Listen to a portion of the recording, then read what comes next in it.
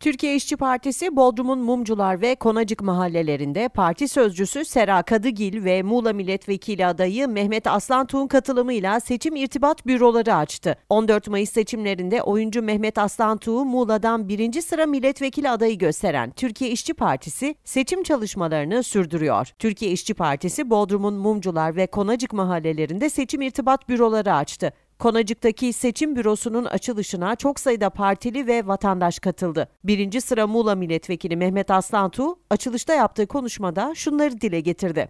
Geleceğe, geleceğe hazırladığımız kuşakların, çocuklarımızın, evlatlarımızın artık bu süreçte yaşadığı travmaları, bu sıkışmaları, bu sıkıştırmaları, bu kuşatmaları, bu başkalarının muktedirin kibriyle, izniyle müsaadesiyle ancak izin verildiği görülen bu sıkıntıya büyük bir meydan okumanın coşkusudur tipte ortaya çıkan bizi de bu yolculukta bu birliktelikte heyecanlandıran şüphesiz bu. Ben kendi adıma biliyorum ki kültür ve sanat ikliminde çoğunun kabul edebileceği belki hepimizin bu coğrafyada demografik yapıyı kısmen dönüştüren göçün konforu da dahil kendi konfor alanlarımızda artık sineye çekemeyeceğimiz çekilmemesi gereken çekilmesine de izin vermeyeceğimiz bir süreci yaşıyoruz.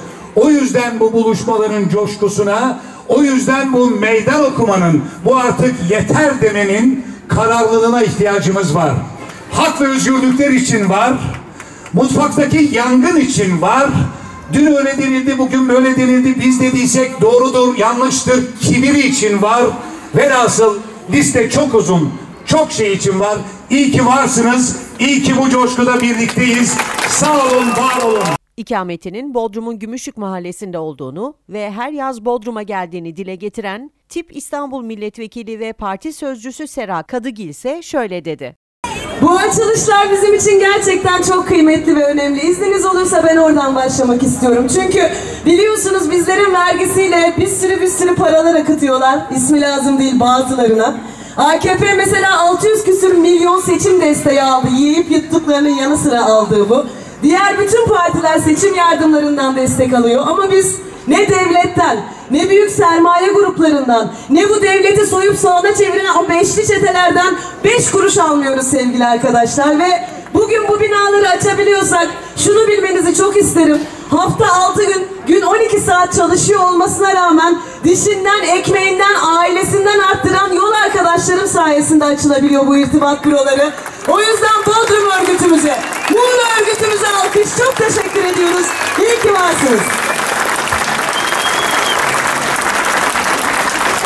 Dedim ya ben buraları az çok bilirim ama hani siz benden de iyi bilirsiniz. Bıraktığımızla geldiğimiz arasında ne yazık ki dağlar kadar fark oluyor.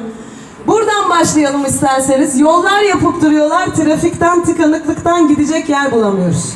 Sahiller var değil mi? Dört tarafımız, üç tarafımız denizle çevrili. Bir tek Türkiye'nin değil, dünyanın en güzel koyları burada.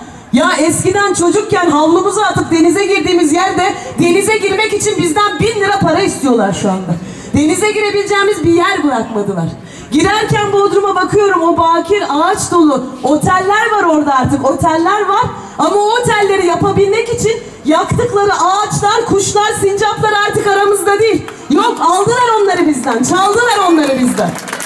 22 yılda bizden çok şey çaldılar sevgili arkadaşlar, çok şey çaldılar. Çok şey çaldılar. O kadar zenginleştiler ki. Sırf onların mal varlığına bakarak bizden neler çaldıklarını zaten hepimiz iliklerimize kadar hissediyoruz. 14 Mayıs'ta önümüzde bir seçim olacak. O seçimde elimizde iki pusula olacak. Dedim ya hesaplaşacağız diye.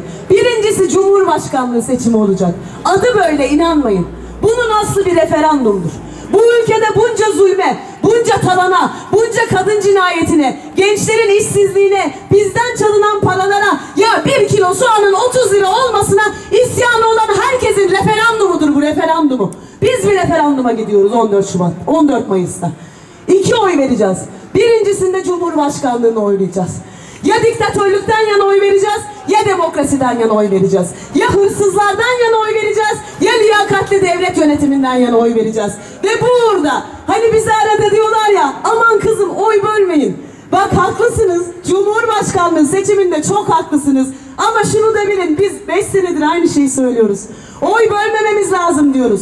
Tek adayla gitmemiz lazım diyoruz. Bir adayda mutabık kalalım. Hep birlikte onu destekleyelim. Bu iş ilk turda bitsin diyoruz. E onu da bugün burada artık açık açık söylüyoruz. Cumhurbaşkanlığı seçiminde biz oy bölmüyoruz. Konuşmaların ardından büronun açılışı yapıldı. Mitingi andıran açılışta Sera Kadıgil ve Mehmet Aslan Tuğ'a yoğun ilgi vardı.